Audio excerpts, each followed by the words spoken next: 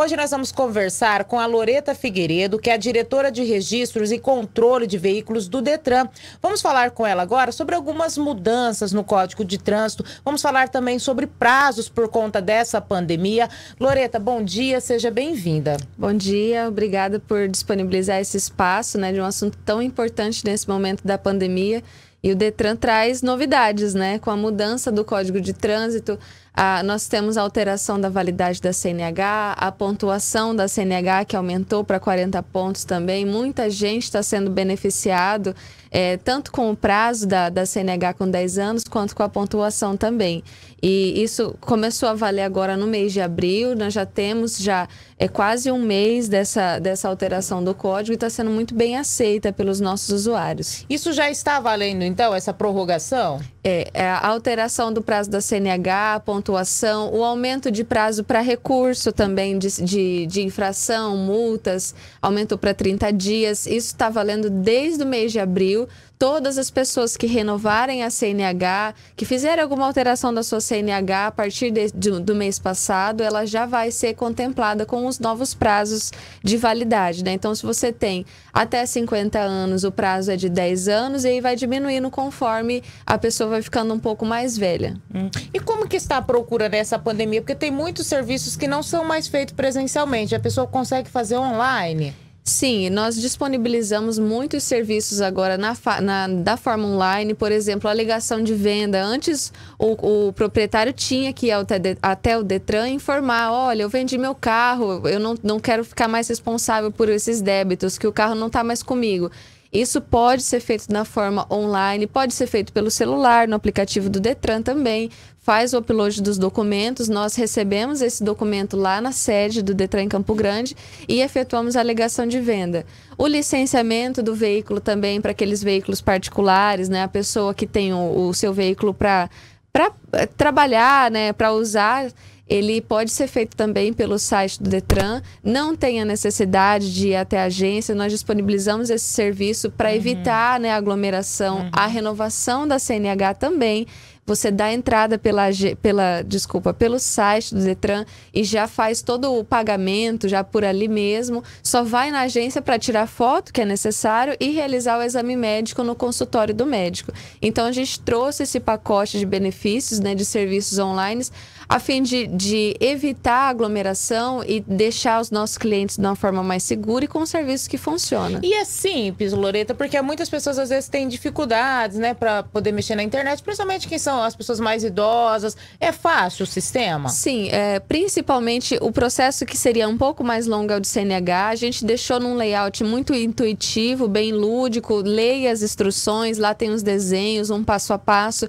Se tiver alguma dificuldade, a pessoa um pouco mais velha, hoje em dia a criança, né, ela tem um, um acesso muito mais fácil também do que até a gente, ela consegue, é bem intuitivo o site, acredito que não, não temos problema em relação a isso é fácil e é rápido, não tem é, burocracia. Você faz uma selfie ali no caso da alegação de venda e tira foto do documento da cópia autenticada do recibo e já faz o upload. Não tem mistério.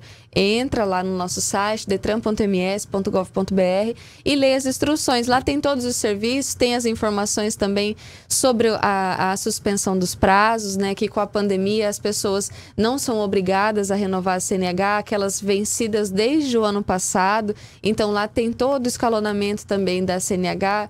Tem a, o recurso de multa, não precisa ir na agência, é só procurar o site, também dá para fazer. consegue fazer também pelo o site? O recurso de multa diretamente pelo site, das multas do Detran, é claro, né? Uhum. Entra lá, no portal de serviços, infrações e faz o recurso de multa também pelo site. Na verdade, desde o começo do ano, né, tem muitas facilidades. Além dessa questão da praticidade, de você conseguir fazer pelo celular, é, pelo aplicativo, também tem a questão das taxas. Algumas taxas foram reduzidas bastante. Por exemplo, essa questão da compra de venda mesmo, que você pagava um valor alto, hoje já não paga mais nesse é, valor, o né? Que que Desde o começo do ano, no mês de janeiro, nós instituímos o sistema Renave, que é um registro nacional dos veículos em estoque, né? Esse registro, ele é feito pelas nossas empresas credenciadas, então as concessionárias credenciadas pelo Detran, elas pagam 90%, elas têm 90% de desconto na transferência. Então é muito mais seguro. A própria concessionária, a revendedora, pode fazer a transferência do veículo lá dentro da empresa, já fica fácil, rápido. Você tem a segurança de que seu veículo está saindo do seu nome, você está deixando o seu veículo com uma empresa é, segura que não vai é, sumir com o seu veículo. A gente tem casos de empresas que, que vai à falência e aí ela dorme aberta, né? E no outro dia você acorda e seu carro já não está mais lá. Então essas empresas passaram por um rigoroso processo de credenciamento e por isso elas têm um desconto de 90% na transferência, que é, esse, esse benefício é dado para o sistema Renave. Então a empresa que está nos assistindo, que está nos ouvindo, que tenha interesse em fazer adesão desse sistema Renave.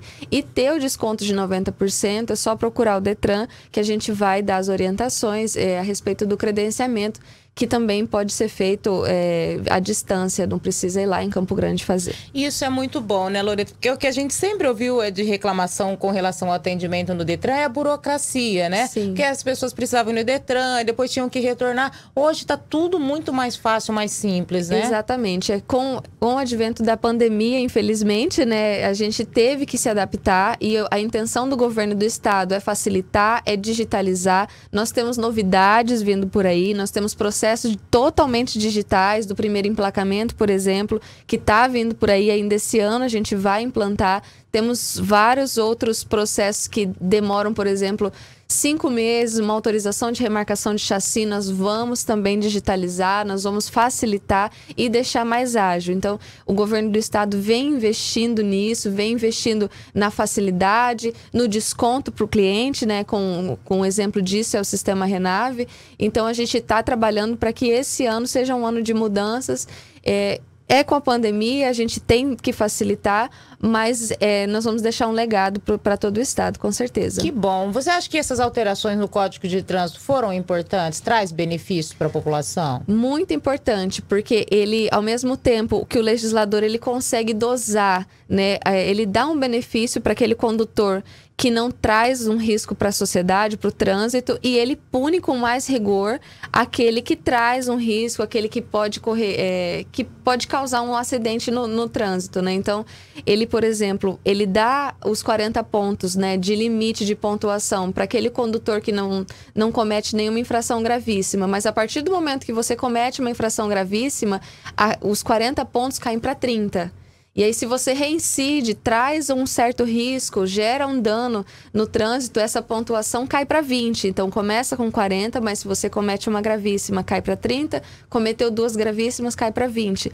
E aí ele também é, proíbe a substituição da pena no caso de você fazer, é, cometer um acidente de trânsito embriagado com lesão grave ou morte, não pode mais substituir a pena por cesta básica, por pena restritiva de direito. Você vai ter que cumprir aquela pena no regime de reclusão. Então ele endurece para aquele condutor infrator e facilita para o trabalhador, que também tem os 40 pontos da CNH, e facilita para aquele motorista do dia a dia, né? Então, é, o, o, legislador ele, ele foi muito sensível nisso e conseguiu dosar, trazendo bastante benefício para a sociedade. Além dessa questão, o que mais que você destacaria como importante nessas alterações no Código de Trânsito, Loreta? É, ele protege também os ciclistas, né? Essa nova alteração ela traz algumas infrações que não, não tinham antes, por exemplo, passar, é, parar em cima da faixa do ciclista, né? Da ciclofaixa. Do, do, da onde o ciclista é, ultrapassa ali, né? Você não pode parar, essa infração não existia. Antes existia só apenas a infração da faixa de pedestre, agora da ciclofaixa também. Então, ele vem protegendo as pessoas mais frágeis no, no trânsito e punindo aqueles condutores infratores. Uhum. Bom, eu gostaria que você repetisse, então, sobre essa questão da renovação da CNH e dos prazos. Atenção, os condutores, você que está precisando renovar a sua CNH, tem documento para fazer no Detran, a diretora vai repetir novamente e explicar como que vocês devem proceder.